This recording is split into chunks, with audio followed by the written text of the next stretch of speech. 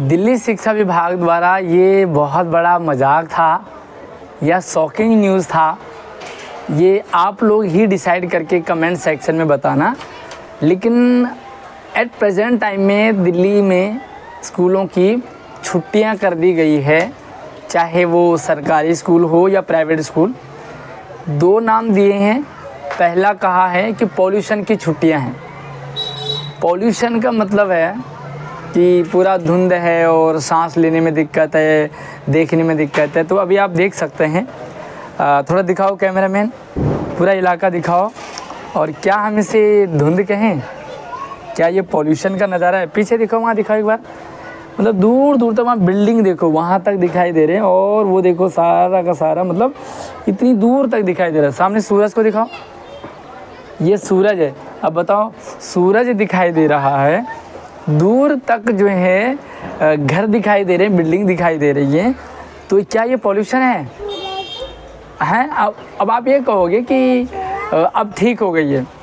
तो ठीक है, अगर पॉल्यूशन ठीक हो गया है तो फिर से स्कूलों को खुल जाना चाहिए। दूसरा लॉजिक दिया कि भाई पॉल्यूशन नहीं, अब ये विंटर ब्रेक की छुट्टियाँ हो गई है। मतलब जो ठंडियाँ जनवरी में पड़ती थी छुट्टियाँ, उसको इन्होंने अभी कर दिया। नवंबर में। अब आप मेरी हालत देखो आपको किसी एंगल से लग रहा है कि ठंड हो गई है। भाई साहब मैं आ, क्या कहते हैं टी शर्ट में हूँ है ना? और आ, मैं ही नहीं हूँ बल्कि लगभग सारे लोग ये टी शर्ट में ही हैं। और अगर आप दूर कोई दिखाई दे रहा हो तो वो उसे दिखाते।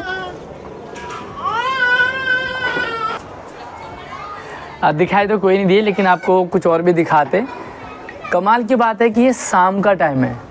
शाम के टाइम में मतलब बढ़िया मैं आ, हाफ़ टी शर्ट में हूँ और सर्दियों की छुट्टियों का मतलब है कि जब दो दो स्वेटर कोई पहनता है जब मतलब इतनी ठंड हो जाती है कड़ाके की धूप दिखाई नहीं देता है हालत ख़राब हो जाती है ऐसे समय में पड़ जाती हैं सर्दियों की छुट्टियाँ। लेकिन अब आप मुझे कमेंट सेक्शन में बताना कि अभी जो प्रेजेंट टाइम का जो माहौल है, वो आपको पॉल्यूशन का लग रहा है या सर्दियों का लग रहा है?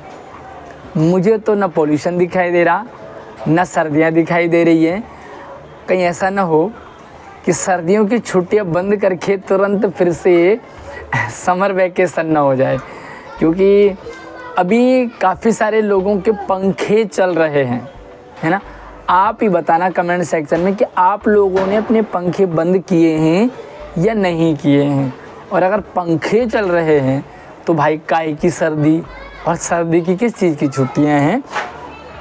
खैर, जो भी हो, लेकिन ओवरऑल इससे जो नुकसान है ना, वो स्टूडेंट्स का ही होता है पढ़ाई का। अगले महीने बच्चों के प्री बोर्ड भी है।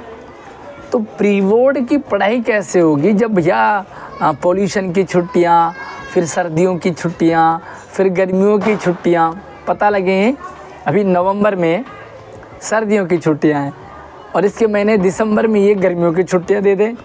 भाई, कब गर्मी पड़ रही है, कब सर्दी पड़ रही है डिपार्टमेंट शायद भूल चुका है बट ओवरऑल ये एक व्यंग्य था। आप लोगों के ओपिनियन जानने थे कि इस टाइम पॉल्यूशन की छुट्टियाँ हैं कि सर्दियों की छुट्टियाँ हैं। फ़िलहाल स्कूलों को खोल देना चाहिए क्योंकि सब कुछ बढ़िया चल रहा है। और जब सर्दी की छुट्टियाँ हों, जब सर्दी का मौसम हो, उस टाइम सर्दी की छुट्टियाँ की जा सकती है। और ये एक और थोड़ा सा मतलब शॉकिंग न्यूज़ है कि डिपार्टमेंट ने कहा कि जो सर्दियों की छुट्टियाँ पड़ती हैं, उनको बंद करके अभी कर दिया। इसका मतलब डिपार्टमेंट का मौसम विभाग से सेटिंग है। उन्हें पता चल गया है कि भाई सर्दियों की छुट्टियाँ जनवरी में सर्दी नहीं पड़ेगी, दिसंबर में सर्दी नहीं पड़ेगी।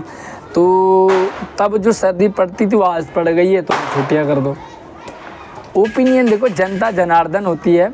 आपको अपना प्यारा सा कमेंट जो ओपिनियन है वो शेयर करना कमेंट में कि इस टाइम आपको क्या लग रहा है। शेयरिंग कर दो वीडियो को।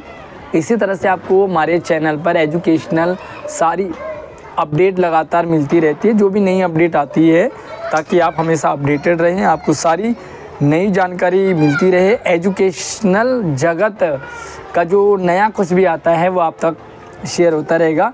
फ़िलहाल ये छुट्टियाँ सैटरडे, यानी कि उसके बाद संडे तक है और मंडे से फिर से स्कूल खुलेगा।